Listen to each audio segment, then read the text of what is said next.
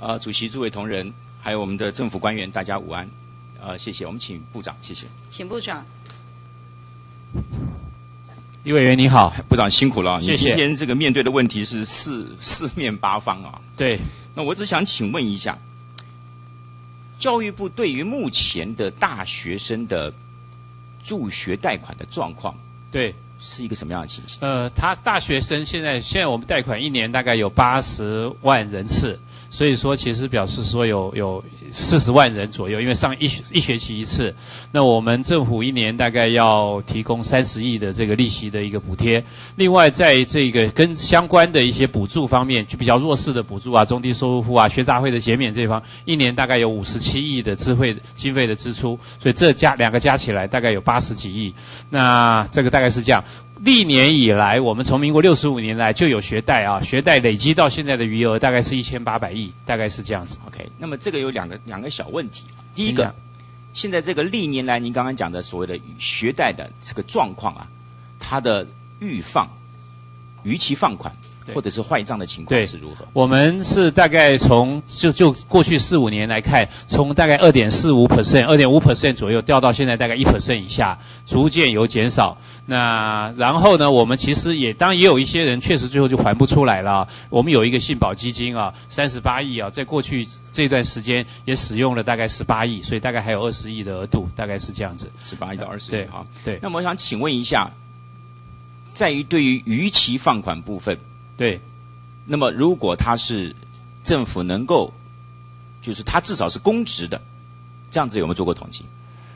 呃，就说是他他是毕业以后做公职还逾期放款的这一部分，我们没有这样子的，没有这样子统计。不过可以去了解，我相信其实公务员大概还款的能力应该相对公职另外一个就是高所得的。我想这一部分应该都应该，我们我们没有特别特别去分这个 category。不过我想我愿意去看一下我们这种预放，就是说他他还款延迟就延迟该该还没有还的这一些，这个其实刚刚讲预放的比例其实一直在降嘛啊。比数字并不是很大，可是中间主要的原因是，我想应该高所得或公务员这一部分应该都是 minimal。我相信，我这是我的判断，应该都是很很微乎其微的。我我刚刚提问的一个就是，当然是公职，因为政府可以去接触他的、使用他的资讯。另外一部分是高所得的，高所得，譬如说，或者是他呃医学院的。我我我相信都是，我相信都是比较弱势的啦。最后预防，我不晓，我希望能够做这个调查，为什么？原因在美国的 Sally Mae 就是跟学生贷款有关的。对。啊，Student Loan Association。OK。那么就发生这个状况。嗯哼。很多毕业的学生呐，他不交钱了。那一查之下呢，他有很多很多的是公职，或者他是高所得的，譬如说是医医生，或者是律师，他反而不交钱了。啊，这个当然是浪费了社会的资源。对，当然。所以我还是请啊，我们有没有这样子的一个漏网之鱼啊？好，那么多多少少应该，而且应该是尽他尽点社会责任。我们马上就可以来看这些，我们应该可以全面了解嘛，对不对？预防至少预防的部分，银行嘛，对不对？合作的银行来了解一下，了解一下，好不好？那么这个是一个这个问题啊，是第一个问题。第二个问题，本席好奇的是，这些贷款学生贷款有没有去调查这些学生？他们怎么是使用这样子的一个贷款金额？呃，这些是学贷，基本上是他的学杂费的的要用到，这个是没问题。对，这个因为它的额度也是有受到限制的。我们最我们在新的贷款余额额度是多少？呃，我们你看嘛，八十八十万八十万人次啊，如果算四十万人，我们一年大概三百亿，就贷款大概三百亿，所以你这样除一下的话，on the average 大概七，就是一人大概七点五万左右。七点五万，七点五万。所以他们主要的还是什么？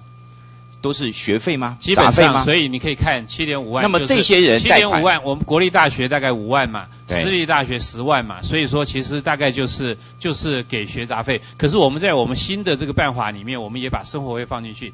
低收入户我们可以一个月有八千块的这个，所以还没有这部分还没有。这个二月一号开始哦，二月一号。可是还才刚开始嘛，我们新的学期开始了。这一群人他们贷的金额大概最多十万块。对。一学期七万块一学期，对不对？对，呃，一年一年七点五万，七五我们就算有些多有些少，就有些高的十万块，对，他只是够付学杂费。对对对，这个学杂费可能都还不太够吧？呃，就差不多就是勉强就是勉强学杂费。那我们有没有在调查这些学生除了去借款读书以外，他们其他的生活是如何来应付的？我想打工是一个环节吧，打工是一个环节。部长，您支不支持学生一方面贷款，一方面又去打工？呃，我是希望学生打工还是跟他的学习是有关系的啦啊！我是我希望 Seven Eleven 这一个，我不认为说去去在念大学的时候去 Seven Eleven，因为大学是我们的黄金时段，大学是我们一个很重要的学习的这个这个 period，这个时候其实应该去多接触知识的的启发或各方面的事情，去花在 Seven Eleven。那他当然，如果一定有需要，我因为工作其实没有贵贱的，他去做那个，当然如果他就有需要，我当然觉得没问题。可是我并不鼓励他去 Seven Eleven，他去做的，他可以到图书馆去帮忙，他可以到电算中心，他可以去去做的这些事情，跟他的学习，跟他未来的成长有更大的帮助。如果如果学校提供很多工作机会，我也不反对了啊。对，我想好奇的是，你有没有做过调查？因为说实话，愿意去借钱的人，他一定有特殊的条件、特殊的因素。对，他就是就是就是没钱嘛，他就是没钱去借钱。你有没有调查？有没有调查过这群学生有多少是继续打工的？我枉付了，枉辜负了你的想你的期待。呃，借款以后再去打工的，我相信比例还是蛮高的，蛮高。尤其是借钱的，越借钱的越可能打工的机会越多。有没有在追踪这群毕业的学生、借款毕业学生他们的出路的状况、就业的状况？呃，这部分没有，还没有方式来追踪。不过，我想我们可以思考看看。您今天特别问了，我要想一下，我没有想过这个问题。我想要讲的是什么？对，您总共花的资源。就教育部来讲的话，就大学教育来讲的话，可能整体而言是很小的。对。可是就从个社会来讲的话，它的金额其实是不小的。对，利息支出就三十亿啊，对不对？那这么大的金额的支出，表示怎么样？它用到的社会的资源，我们当然希望这个投资对效益是好的嘛。对。那现在这个效益。我是为什么？我为什么动辄就向您要求说很多很多的资讯？其实我们做了投下，就应该要看到效益。好，我我愿意就是说来看，针对就是说我们一年投入的三十亿的这一个利息的支出啊，那它产生的这个效益对学生的帮助是什么？看看可是不是可以比较有系统的去看一看一下？那这个可能要 by design 要才了解，才能去追踪，也不是明天可能就能当然当然，我认为这个是一个 ongoing 的，甚至有一些资讯现在都没有，所以说你如果真的要去要。去了解那些资讯就要开始建立啊，那跟银行的互动，银行怎么样去去了解说那些资讯我们可能要的，那这一部分我们可以做一些思考了，好不好？我同意，我也不愿意侵犯呢这个我们借钱的学生的隐私，可是呢又能某种程度的做到一些效益的分析，那这个怎么做？我们要考量一下。请问学校的学府单位、学生辅导单位对。跟学生贷款的关系？是怎么样的？学学些呃是学务处啦，对，通常现在是学务处来协助学生的辅导，学生学学务处啊，那说生活辅导中心或者一些来协助学生去去贷款，他们其实有多重的任务啊，其中也有是说急难救助，譬如说学生一有状况，他可能去那个是我先讲就是学生贷款这个部分，学生贷款他们他扮演的角色，他跟银行、学学学务处跟学生这三角之间的关系，因为贷款的利息啊其实是 fixed 的啦。所以，所以其实并没有太太多的这种需要 extra 去提供一个服务啊，让这个让这个。我意思说，学务处本身在协助学生贷款呢，对，还是在做分配资源的角色呢？还是什么都没有？它跟分配没有关系。学学务处不分配这个贷款的资源，因为贷款是我知道学生有需要就去，学务处会分配他的可能奖助学金，这一些可能会有关联。学务处有人主张，学务处他其实。他如果了解学生的话，对，他应该要提供很多很多的协助。他可不可以变成学学务处的一个协助呢？因为这些贷款本身，就像我刚刚讲的，有很多条件的。对，可不可以透过学务处？这这部分当然是，其实学校所有单位里面要协助学生去贷款的，就是学务处的，就是他的执掌之一嘛。所以说，像譬如说几年金融前几年金融海啸的时候，但是我所要说的，我我所要提醒您的，对，我提醒阁下的是什么？请讲。银行在贷款的时候，他看的那条规、那些那些规矩，对，学务处基本上是没有角色的。